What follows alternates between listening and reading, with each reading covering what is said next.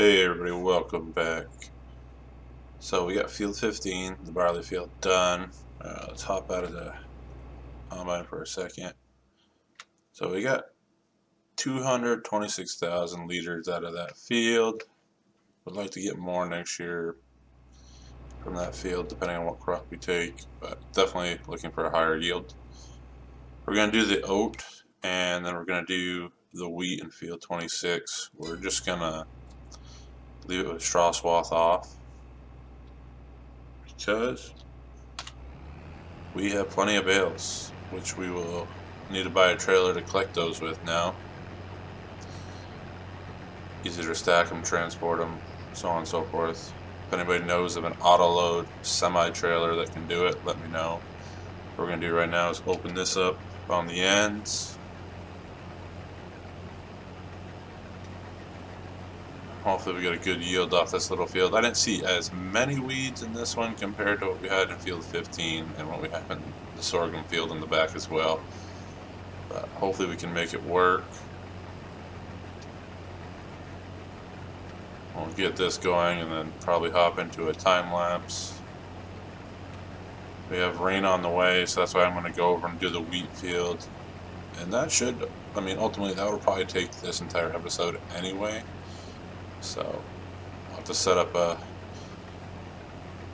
auto drive track over there for the cart. Those will need that again.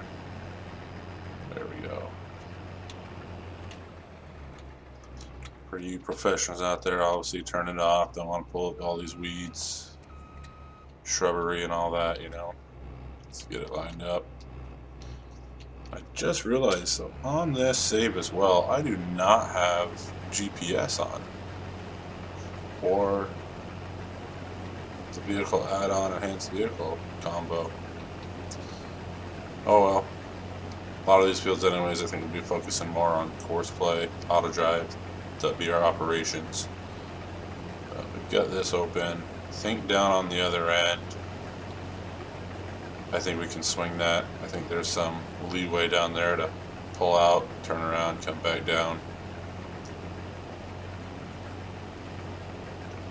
Yeah, we're getting into it. So I'm probably going to hop into a time lapse now that we've got this opened.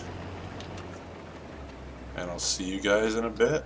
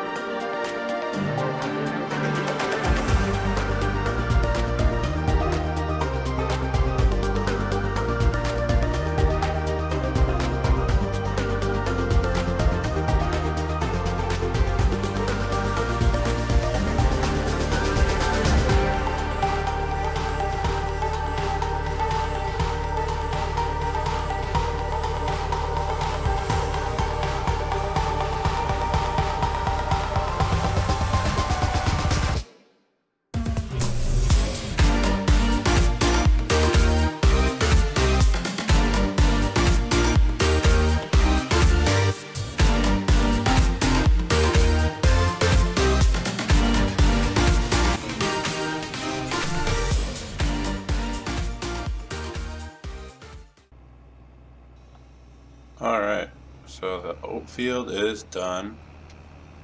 Uh, we'll go bring that over to the large silo bay, that way it's quick and ready to go, not taking up one of our major bins. Sorry about earlier, a little laggy in the cab, not sure what's going on with that. And physics of farm sim strike again. So I ran into these signs down here, no damage was done, very impressive I might say. Anyway, we're going to head over here.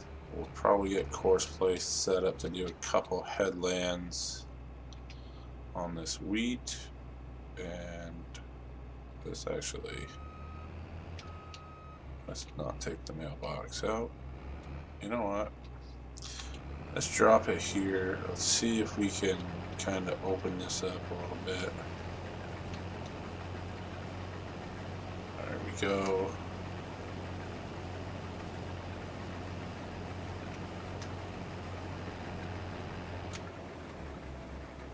Like I said, we're not going to drop any straw swaths. Uh, let's go into Courseplay. After it does its saving, really need to remember to sh shut that off.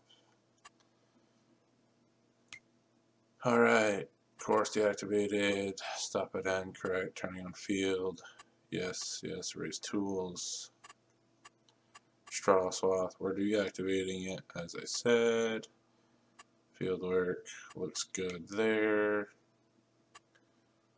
automatic repair, everything looks fine to me there. So, let's, oh, I need to actually clear that course, clear the current course. We'll head in here, we will create a job, field work, uh, let's go set, uh, location's never where it's supposed to be, Start at first waypoint, like so. We're good with that. We'll open up course. We want to do and let's just do up and down. Uh, let's do three headlands. We want to make them sharp this time. Uh, let's do 8% overlap. And that should be good and we'll generate for that field. And there we are folks. So we will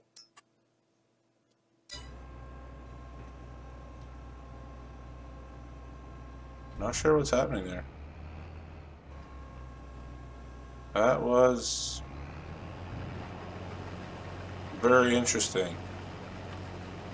Uh, very interesting not sure why they did that or it unhooked everything, but we'll come back and touch that up later.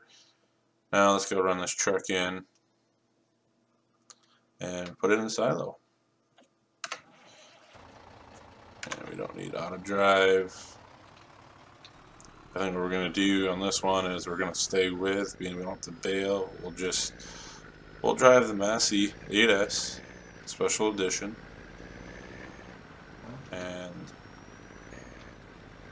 I think we can do a pretty good job covering that the whole time. You've already seen enough of the combine at work, so now you can see some of the the pull labor. There goes the old Jake brake. Let's see if we can get in here. Need to get a weight scale for the farm. Uh, I know there's been a few out there.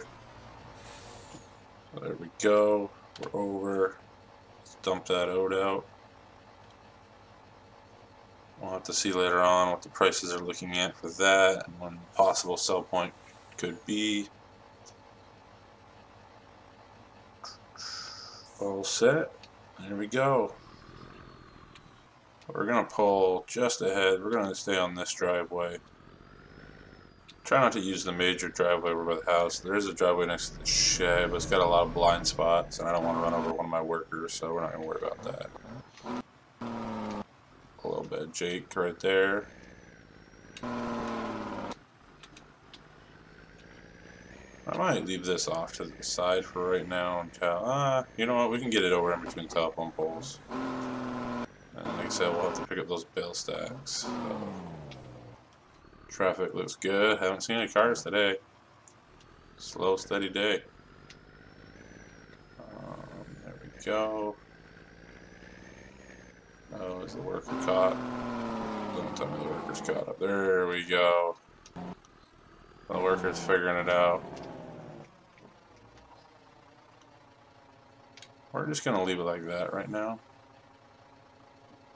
Worst case scenario, we'll turn around on the field. Actually, you know what? Let's back it up a little bit.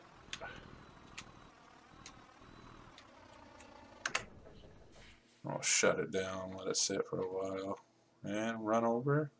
We'll grab the chaser bin or cart, whatever you would like to call it, and we will go take care of business. The fuel is not bad in this. Like I said, we don't need auto drive. Uh, do you guys prefer the HUD on or off, by the way? I had a message sent to me by a follower that asked me why do I always shut the heads-up display off. I do just because it kind of cleans the picture up and when I find a moment I can get a good screenshot it usually makes it a little simpler to do it. And yeah if it's something you all want to see on I have no problem leaving it on. Definitely need to give this a bath after by the way. Also really don't want to hit those signs So what I'm going to do right now is we will hop into a time lapse and I will go with the combine for a little bit until we're ready to start chasing it down with this when we get the headland open. See you guys in a bit.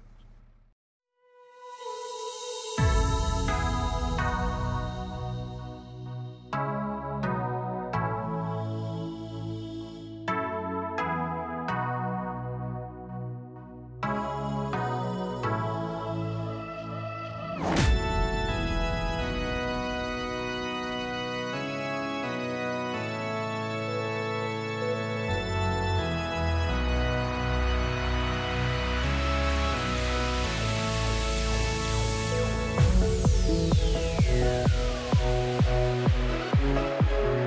you.